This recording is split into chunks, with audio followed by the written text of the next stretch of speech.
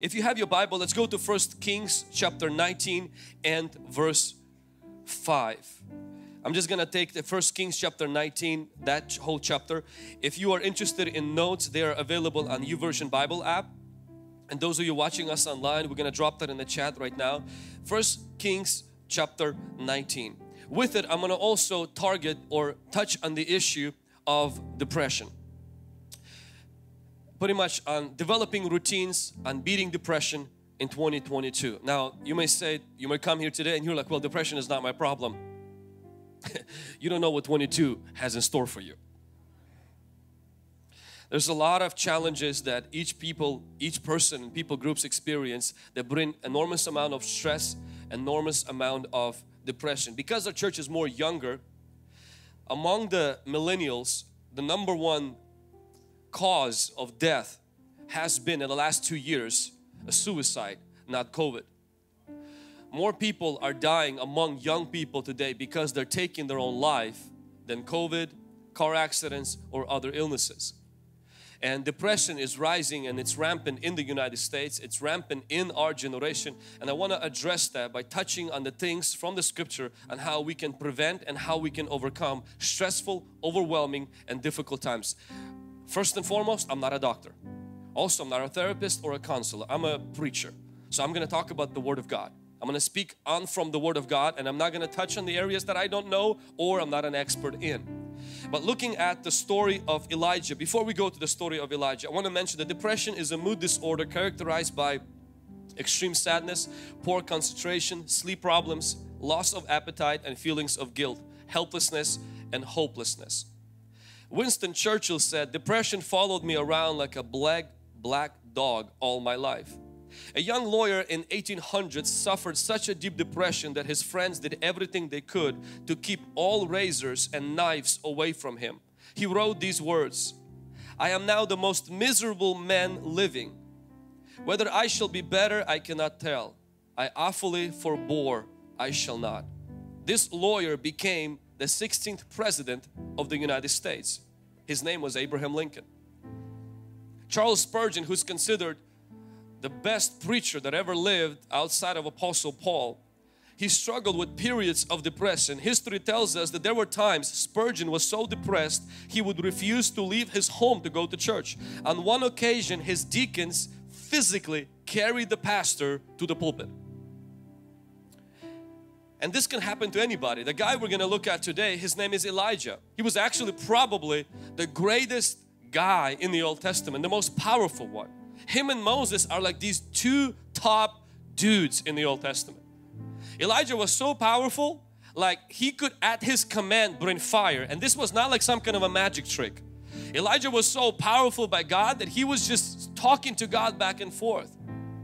He would command and rain would stop coming for three years. God would feed him by birds. God would speak to him. He would raise the dead. And at one time he challenged 400 or something prophets on one mountain and literally obliterated them. He destroyed them. He brought the fire from heaven and eventually killed all of those prophets. And I mean, this guy was the bad guy. He was crazy. He was powerful. And then Jezebel sends this message to him in chapter 19 of First Kings says, Hey, I'm going to do and do and do this and this and this and this to you if this and this and this doesn't happen. Pretty much she says, Hey, I'm to kill you. She doesn't intend to kill him because if she wanted to kill him, she would send an assassin, not a messenger. Jezebel is a queen of intimidation. Her expertise is intimidation, not actual killing. And Elijah got so scared that he ran. Now, nothing wrong with being scared and running until you start seeing his prayer life. He runs and then he does this thing. He starts talking to God. And this is where the mistake that we sometimes make as Christians is when we tell people who are depressed that they don't have enough faith. And we need to stop that. Or we tell people that are depressed, pray more. A person who is depressed, their prayer cannot help them because the prayer, they're swimming in their own vomit, their own feelings. They're swimming in their own broken mood. And you look at Elijah's prayer when he is depressed and this is what he's praying. He says, Lord, I've had it enough. And a lot of us feel like that sometimes. And then he tells God this, he says, Lord, kill me now. Now, and this is the only time that God did not listen to Elijah. Elijah is used as an example of an intercessor and a great prayer warrior. In fact, in James it says that Elijah was just like man like ours. He had the same passions and when he prayed, God heard. But this is the time God's like, I'm not answering that. I don't want you to die because you want to die. I actually intend for you never to die and to be raptured to heaven. At his lowest point of his life, he's praying to God, I want to die. So sometimes when you're depressed, prayer is not a solution. Because in prayer you can get more depressed. You can pray yourself into a deeper depression. What is the solution? We're going to look at what his solution was. Prayer wasn't one of them. Because he went to prayer first, start praying, start praying, and then he actually prayed himself almost into suicide. And then God does something. The first strategy I want you to see that we need to prioritize this year whether you're going to battle with stress, anxiety or being overwhelmed or depression or not. This is a good strategy and routine for this year. Number one is get your physical health in order. Meaning develop discipline for your physical health.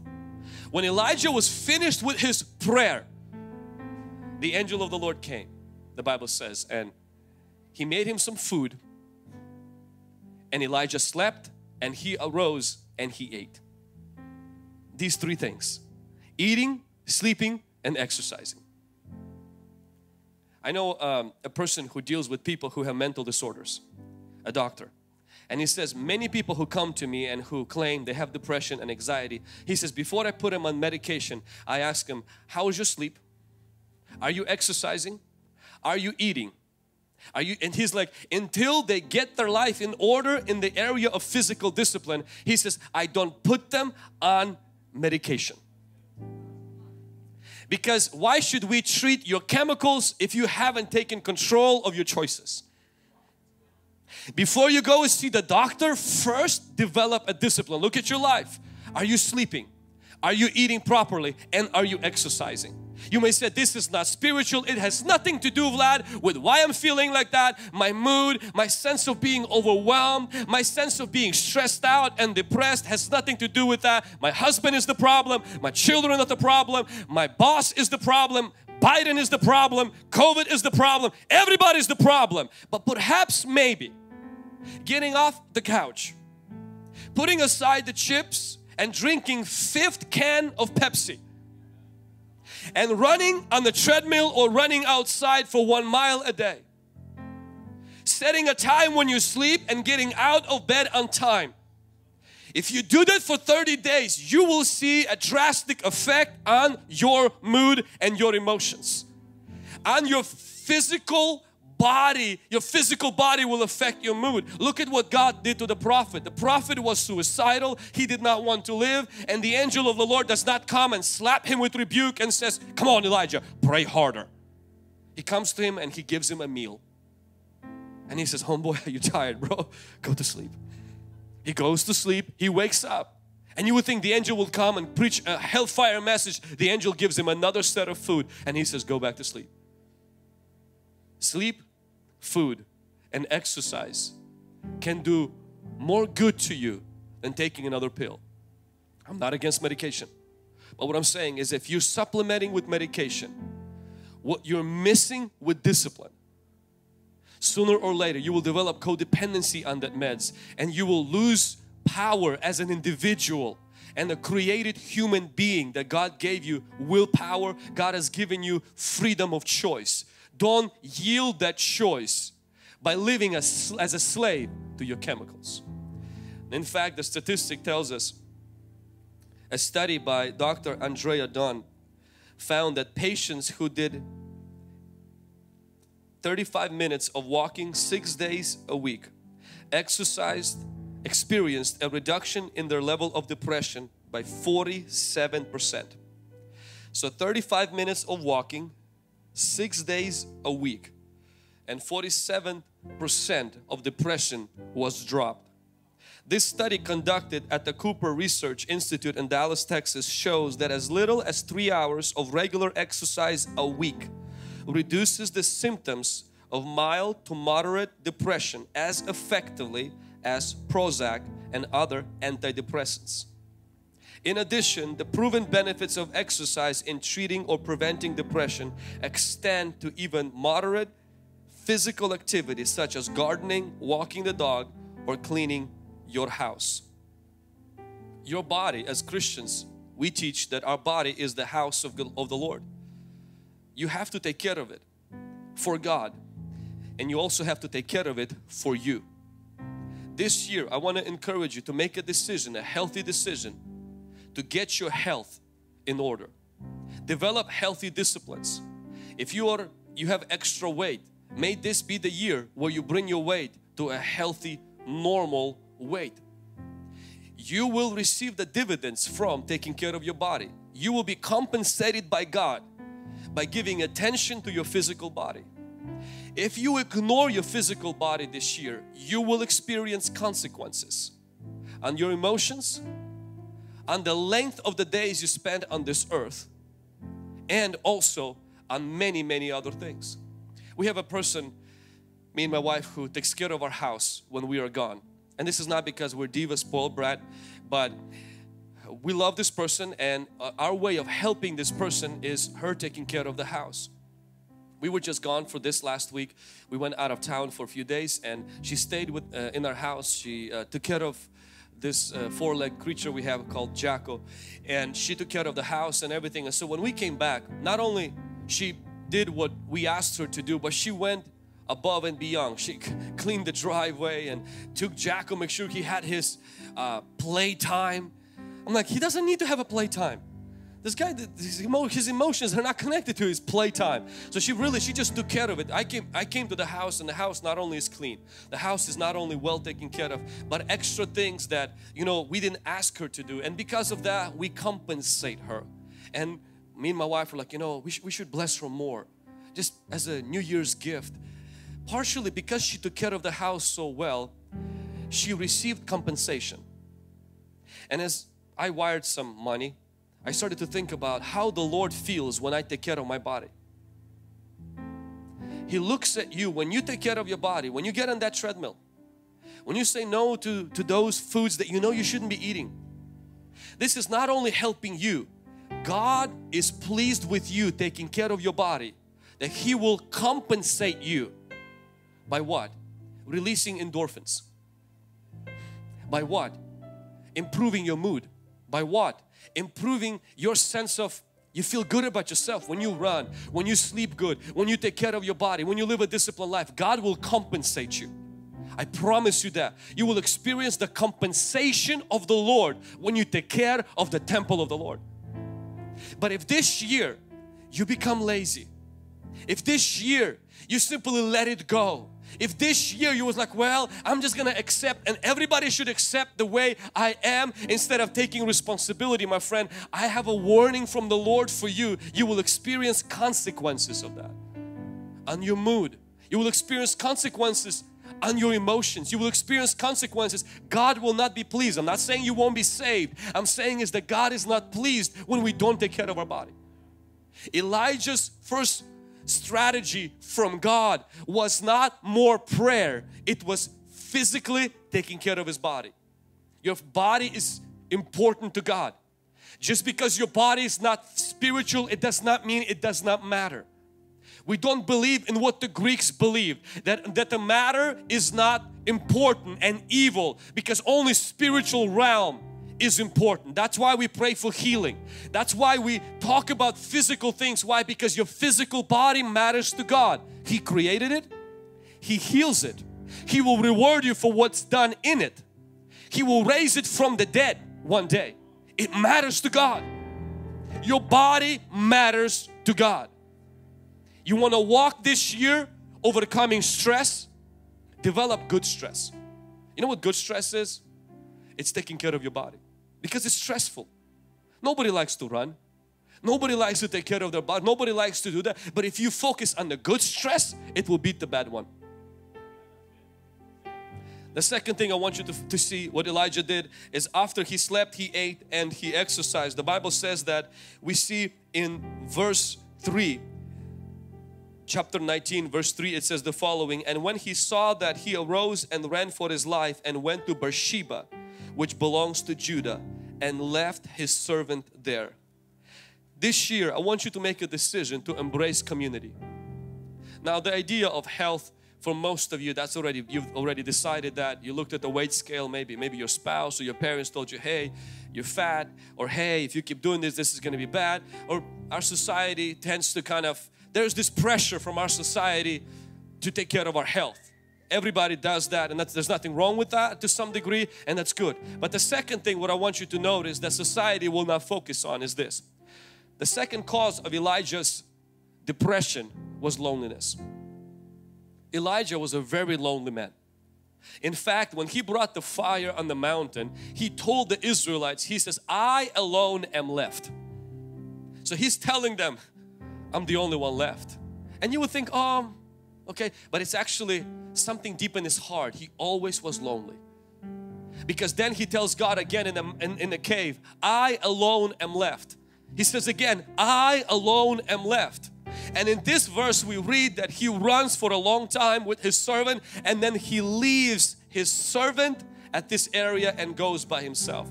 It's not that nobody wanted to be around Elijah, it's that Elijah on purpose intentionally lived alone.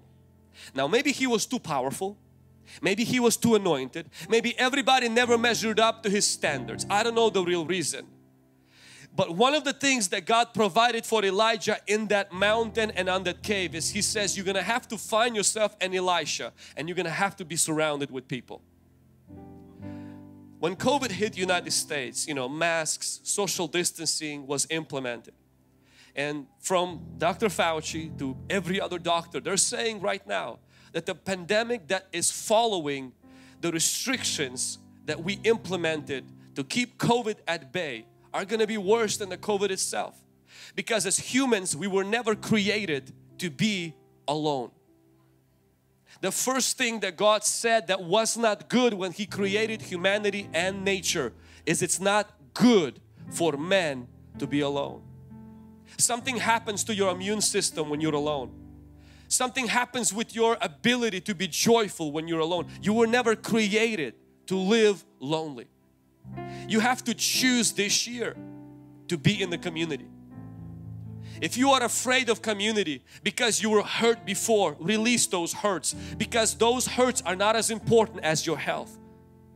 Maybe you are easily offended, you're quick to judge, or maybe you're one of those people that you seem to always get in a place where you see only hypocrites and that thing about your personality, you have to leave that behind because community is more important. There is no perfect community, there is no perfect family, but each one of us needs a community and family. Few practical things. One, prioritize your family this year. Prioritize being with your family.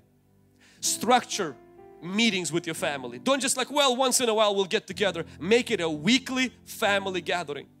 God was so specific about that that He created Sabbath for the children of Israel. Sabbath was not simply running around errands and going to Home Depot or going to Walmart and catching up on your to-do list. Sabbath for Israel was a time around the table with the family. In the good meal, you turn everything off and you spend 24 hours celebrating God and celebrating your family.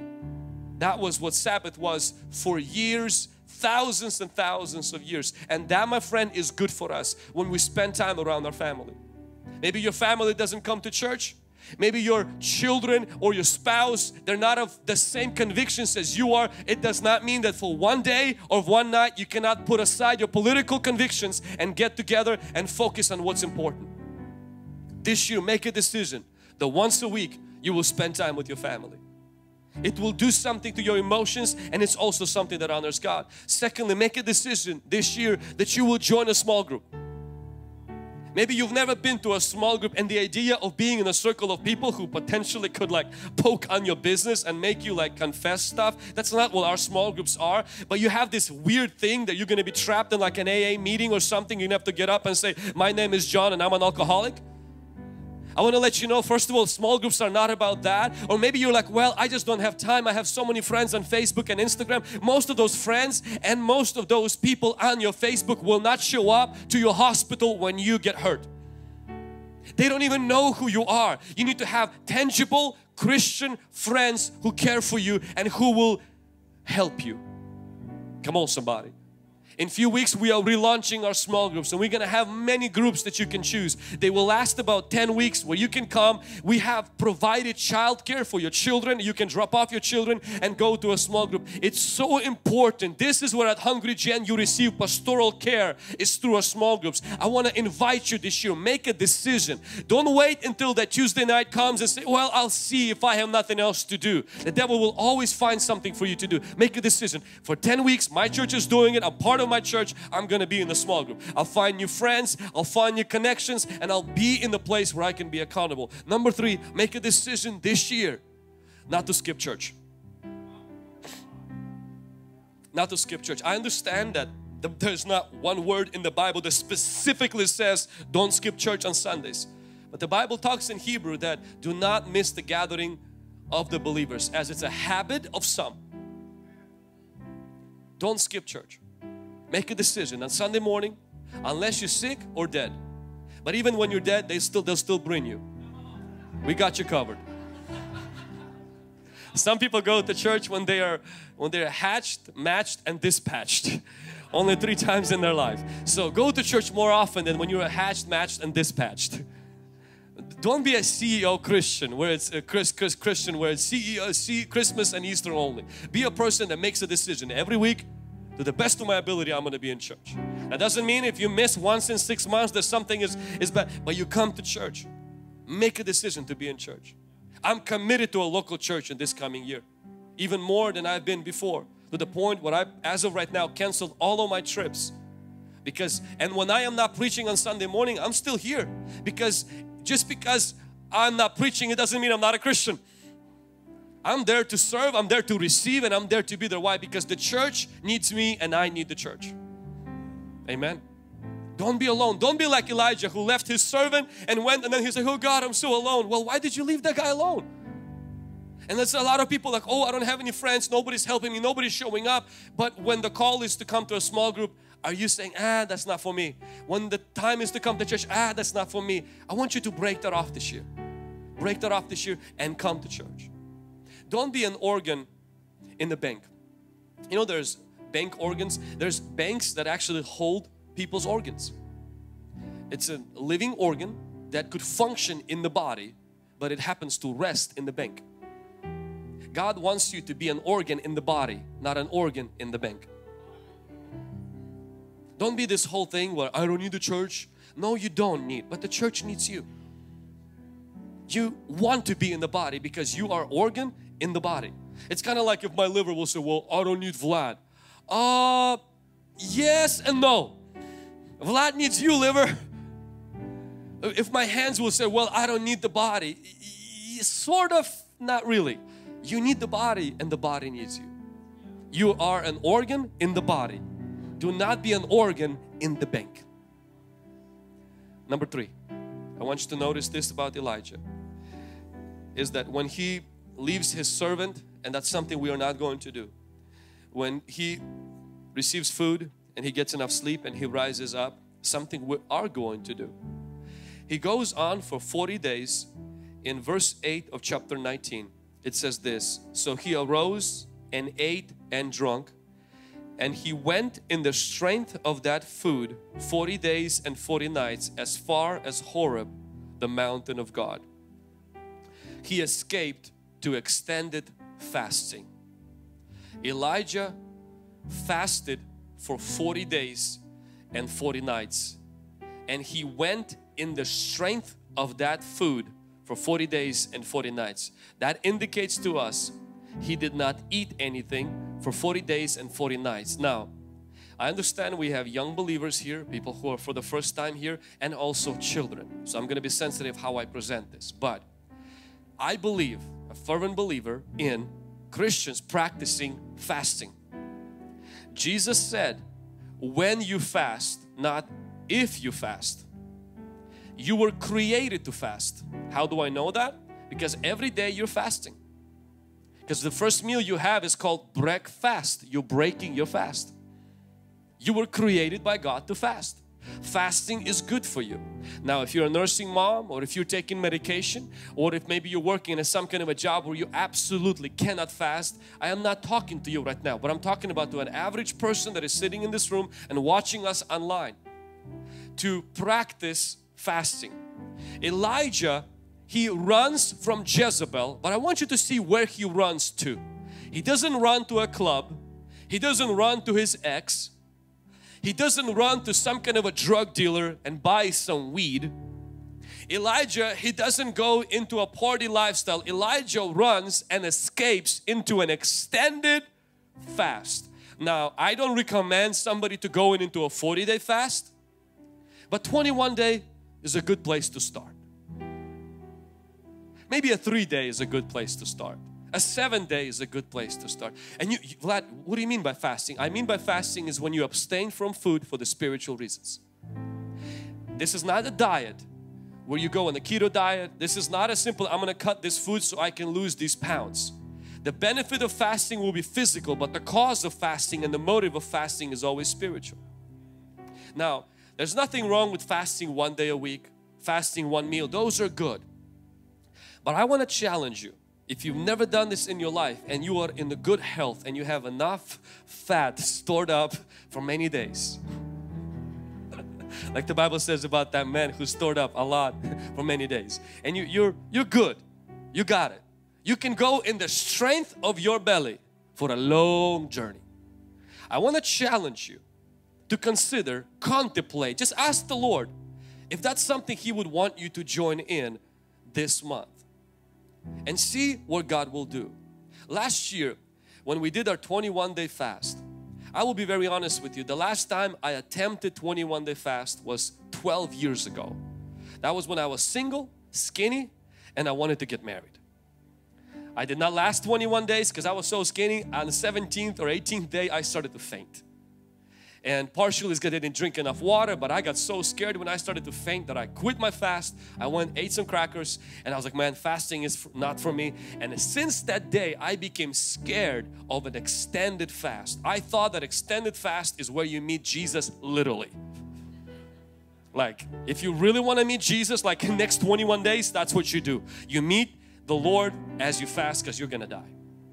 And so my friend cousin and the pastor Ilya he practiced the 21 day fast almost like it felt like it was every other month.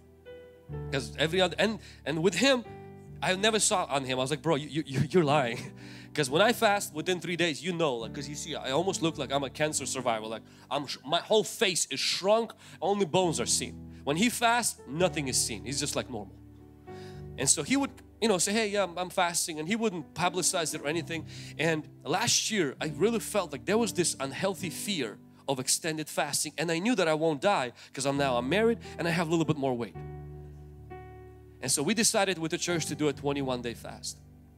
A young man, an older man actually, not a young man, I see him as a young man, in my small group came to our church only six months.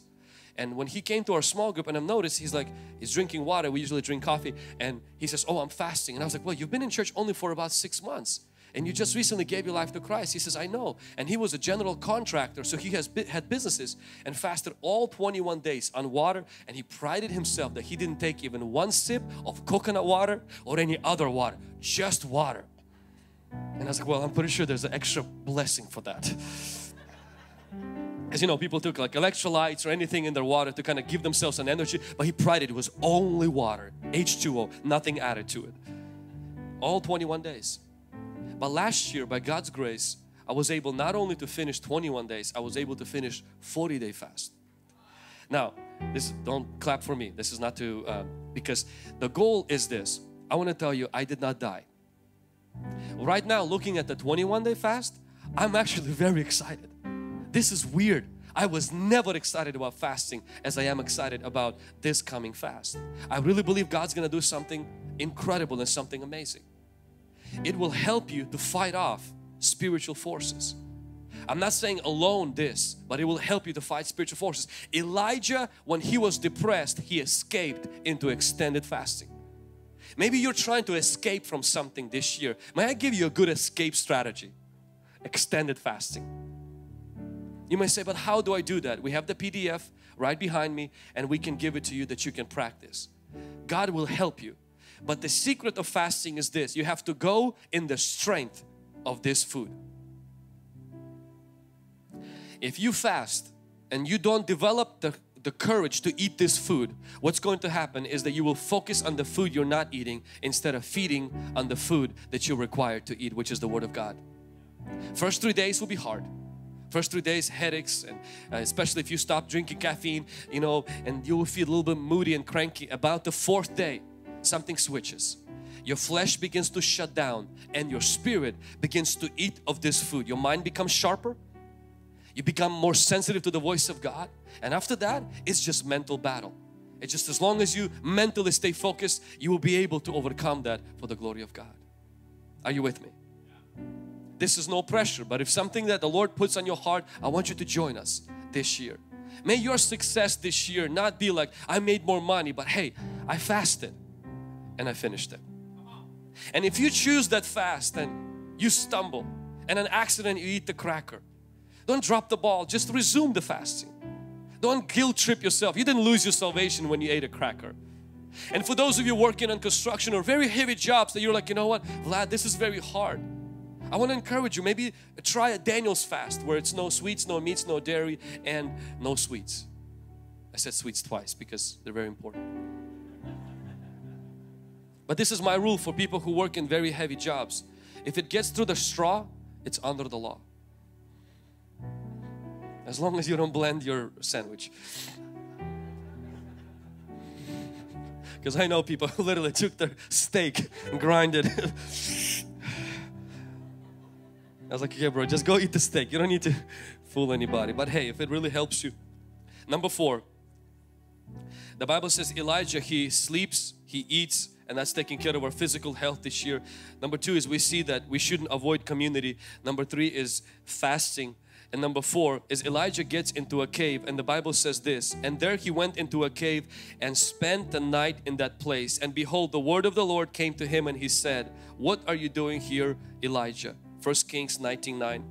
Number four, and this is what I want to challenge every believer this year, is to make a decision to be in God's Word. Experience God in His Word. According to the American Bible Society, 78% of American households own a Bible. An average household has three Bibles available. But the problem is that most Americans have the access to a Bible that they don't read. Just 11% have read the entire Bible and majority of 30% of Americans surveyed have no more read than several passages or stories.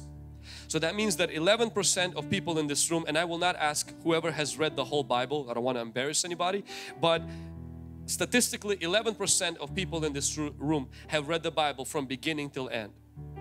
And it's not because we don't have enough time, because on the average, an American spends two hours on their phone on social, social media and four hours a day watching videos. My goal is not to tell you turn off your social media. My goal is not to, hey, renounce YouTube. That's not the goal. The goal is this, is that we shave off some time of social media and we bring the Word of God into our life. You have to find your cave and the word of the Lord has to come into your cave. If you want to have a new year this year, I want to challenge you to have new year and to have new you. And that is this, make God's word as standard in your daily life. If you read the Bible every single day for six minutes, you will finish the Bible in two years. If you read the Bible for 12 minutes, you will finish the Bible in one year. If you read the Bible for 25 minutes, you will finish the Bible in six months. If you read the Bible for 15 minutes, you will finish the Bible in three months. If you read the Bible for 2 hours and 29 minutes, you will finish the Bible in one month. I want to encourage you to read the Bible every single day. I am not against reading the Bible through one year. The goal is to read the Bible every single day. Whether you read three chapters a day, you read one chapters a day, but read the Bible every single day. Why? Because the Bible is the only book in the world that's God breathed.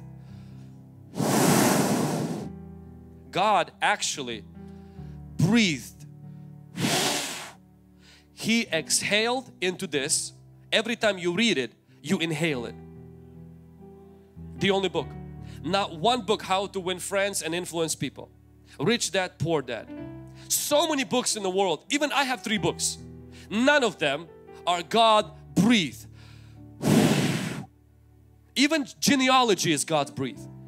Even book of Leviticus and Lamentations is God breathed. The Bible doesn't contain the Word of God. The Bible is the Word of God. The Bible is powerful, sharp, and it's living. It's the only book where the author will continue to speak to you. This is God's presence. The Word of God came to Elijah. Have you noticed the Word of God came? Why? Because the Word walks. The Word talks.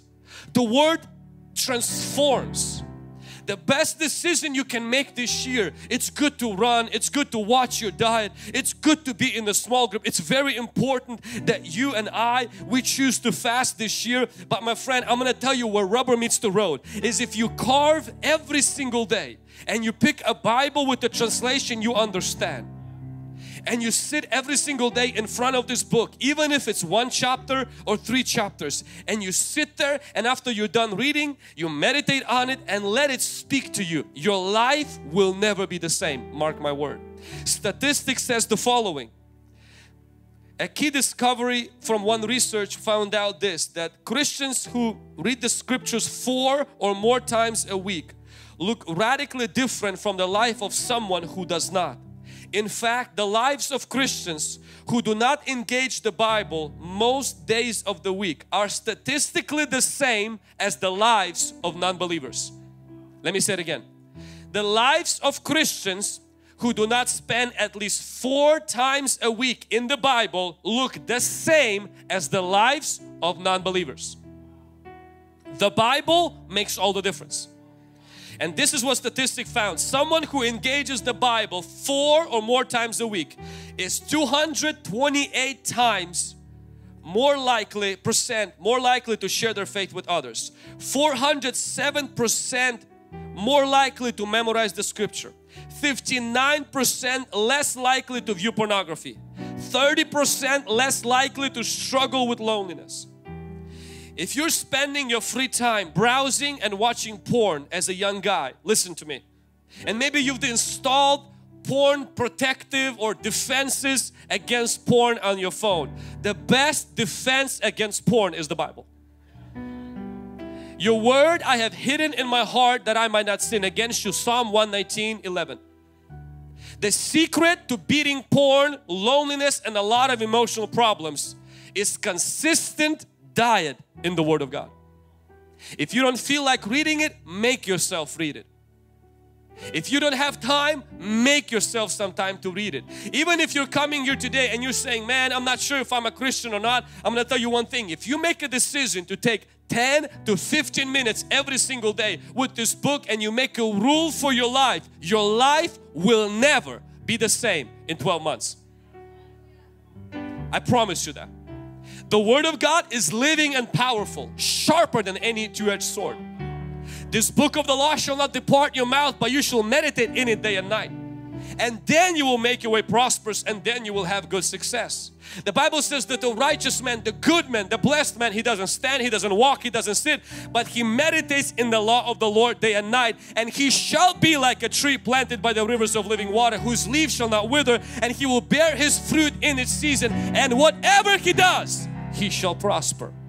This is the power of being in the Word of God.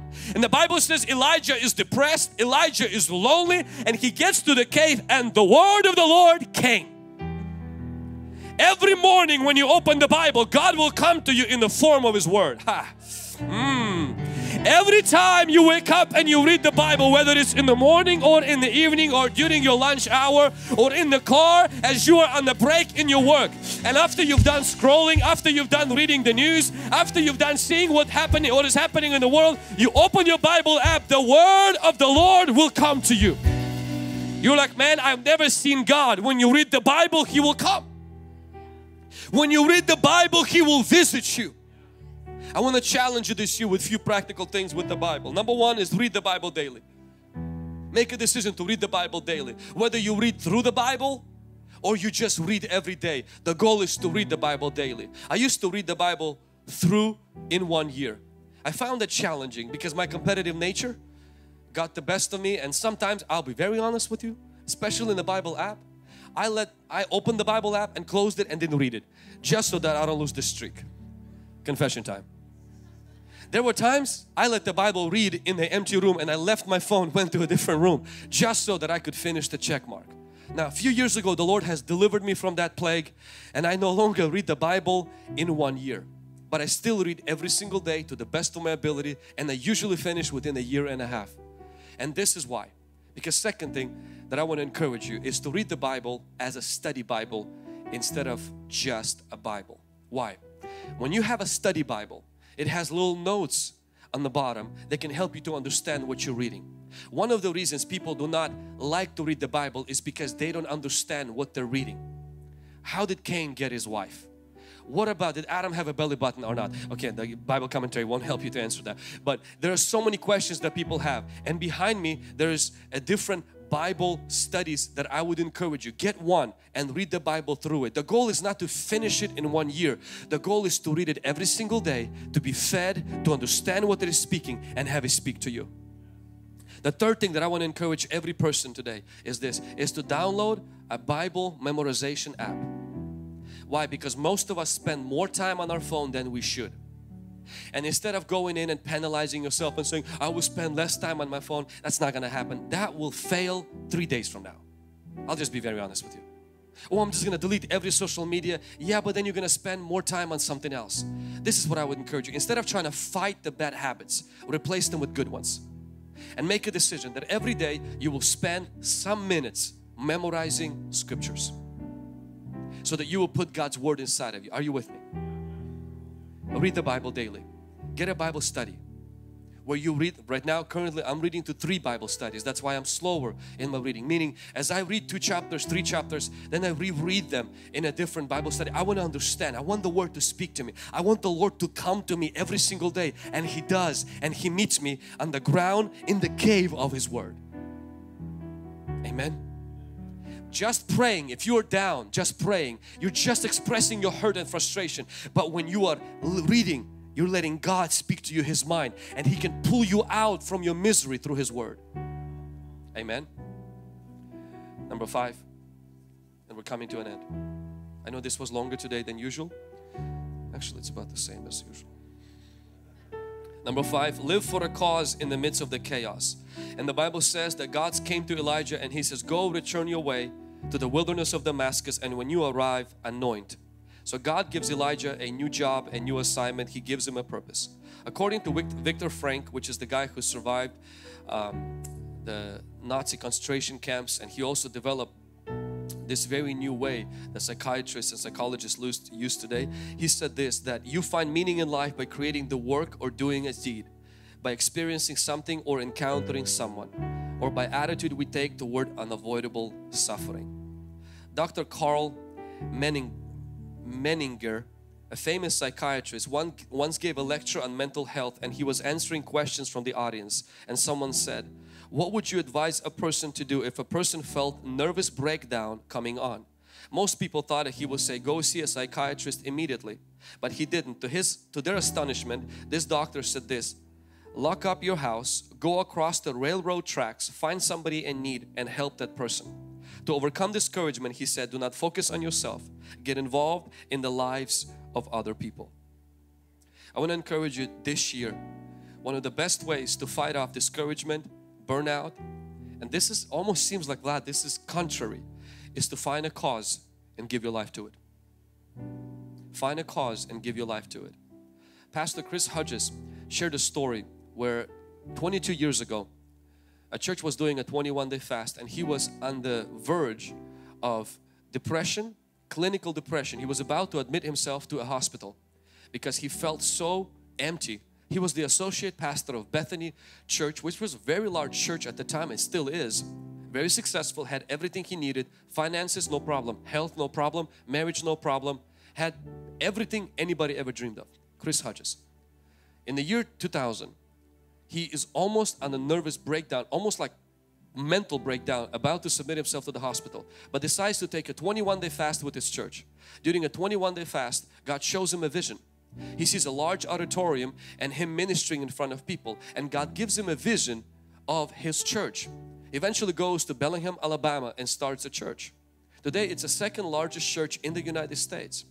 22 years later and he says this, what pulled me out of my depression is God giving me a purpose. One of the things that can help you pull out of discouragement is having a cause and having a purpose. If you're in this room today or watching us, and let me just speak for just a moment to those people who are maybe not just depressed, you're on the edge of suicide. Number one is that you don't have to die to end your pain. Suicide is not a solution. It's a permanent decision to a temporary problem. As Christians, we believe that Jesus is our Savior, not the robe. As Christians, we believe even if what you're dealing with right now is because of your sin, maybe you've committed a mistake, you fell into something that you cannot forgive yourself and nobody will ever forgive you. Maybe you're like Judas, you've betrayed somebody and there's a weight of sin that comes upon you so strong that you feel like the only way out is for me to take my life. Listen to me very carefully if you're watching, rewatching or if you're sitting quietly in this room. You don't need to take your life. Somebody already has given His life for you. His name is Jesus Christ. Suicide is not your salvation. Jesus is. Something a therapy, a doctor and a counselor cannot give you is forgiveness of sin. Something I can offer you today is because the man I'm talking about actually died in your place. That means that you don't need to pay for your sin. You don't need to pretend it didn't happen. You don't need to pretend it did not matter. It did. It hurts somebody. It's wrong. But there is somebody who took that on upon himself. And Judas, you don't have to die for your sin because somebody not very far from here on the hill of Calvary died in your place. All you gotta do is come to Him and give your life to Him. But maybe you are here because you're overwhelmed with the problems of life, with the challenges of life, the kids, the wife, the mortgage, and you don't know what the future will hold. Maybe there's just challenges that nobody can help you. And honestly, there's nothing in this world can happen to change that situation. I want to tell you something. Still, if there is breath inside of you, there is hope for you. The Bible says God makes things work together for good for those who love God. The Bible doesn't say that everything is good, but He will He can turn around things for your good if you love Him. If you hang in there and if you don't drop the ball but instead go into prayer, go into the Word, go into fasting, something will happen. God can supernaturally turn around your life in the way you have never fathomed or imagined. Elijah wanted to kill himself but God planned to take him on the chariot of fire to heaven. Your current mood and your current emotional state is not an indication of what God wants to do in your life in next three months. How you feel right now, it may feel like you're at the lowest of the lowest and there is only darkness. I'm alone left here, Lord. Nobody is serving you. Jezebel is still reigning and God says, Elijah, a little news flash. There's still 7,000 people and I don't want you to die in this pit. I want to take you gloriously to heaven in the chariot of fire. I want to challenge you today. Don't end your life. Yield it to God. Even if you've attempted and tried so many times to change that circumstance and you failed and you said, that's what I'm going to live with. Listen, if God doesn't remove the thorn in the flesh, He will supply you with strength. But there is hope for you. Another personal or practical advice. Medicine is not a sign that you lack faith. Just because you prayed, just because you fasted, and emotions of depression linger, go see a doctor. Taking medication is not a sign you lack faith. In the Bible, we see in heaven there will be trees that have leaves and these leaves will provide healing. In Ezekiel it says these leaves will provide healing. In the Bible, one of the authors of the New Testament was a good doctor. His name was Luke. Christians were the pioneers of hospitals and medicine. In fact, the first hospital was actually a monastery that turned into a hospital. Why? Because Christians believed that their leader was a great physician and therefore we should be at forefront helping the sick people, not shaming them for taking medicine. Now, will medicine heal you? Probably not, but it will treat you and it will help you to manage whatever you're going through and help you to get back on your feet. Apostle Paul, the great man of God that he was, tells a young Timothy, instead of telling him to quote the scriptures, he says, take alcohol for your frequent stomach problems. That tells us as Isaiah prophesies to Hezekiah the king and he says you're gonna die and then God reverses the whole thing and Isaiah gives him an advice. He says take some of nature things on your boils and you will recover. God can use medicine. Don't be afraid to seek the doctor. Don't be afraid to go see a therapist. Don't be afraid to go take medicine. Do not simply say, well, no, this problem is just spiritual. I just need to keep attacking it. Well, if you've been attacking it spiritually and it's not changing, go see the doctor for Christ's sake. For the family's sake. For the sake of your well-being this year. It's not a sign that you lack faith. And anybody who says that to you, it's wrong. And the last thing that I want to mention on a practical level. Depression is not a pet that should be entertained. It's a pest that should be exterminated. Ultimately behind every depression is a spirit of Jezebel. Elijah did not have really a problem with his health or his diet. Elijah had a force that he had to confront. It was Jezebel to provoke the whole thing. A lot of times behind extended periods of depression and anxiety is actually a demonic spiritual forces. And medicine cannot help with demons. They can help with physical chemicals, but they cannot help with demons. If you're taking medicine, if you've done all the spiritual disciplines and you're noticing it's still there, seek deliverance. Come to our prayer line this month. Get delivered. Because there is such a thing as spirit of heaviness in Isaiah. There is such a thing as spirit of fear, 2 Timothy 1 7. There is such a thing as distressing spirit the Bible says in 1 Samuel chapter 16 it came upon Saul and it made him man manic. He started to throw spears like he kind of lost had episodes. So there is such a thing as spiritual world. This is not just portrayed in movies and paranormal activity movies. This is actually real. There are spiritual forces. I'm not saying every mental disorder is demonic but there are demonic spirits behind some mental disorders that cannot be removed through medicine, therapy or counseling but it can only be removed through the act of exorcism. Amen. So these are the lessons that I want us to take on this year. Let's prioritize our health. Let's prioritize community. Let's prioritize fasting. Let's prioritize putting God's Word in our life. Let's live with the cause. And if you're going through a heavy depression right now, suicide is not a solution. Medicine is not a lack of your faith. And deliverance is not just an option, it might be a necessity. Amen. Hey, thanks for watching this video. If you enjoyed this content and this was a blessing to you, would you help us and hit thumbs up so that it could help more people to discover this video. It costs you nothing, but it can go a long way to help with the algorithm. As well as if you're not subscribed to our channel, hit subscribe, click on the bell so that you can be reminded each time that we upload videos. Thank you so much for being a part of this community. If you're interested in learning more about Hungry Gen, our internship, our conferences, deliverance, and so many other things, go to hungrygen.com for more information. And as always, remember, better is not good enough, the best is yet to come.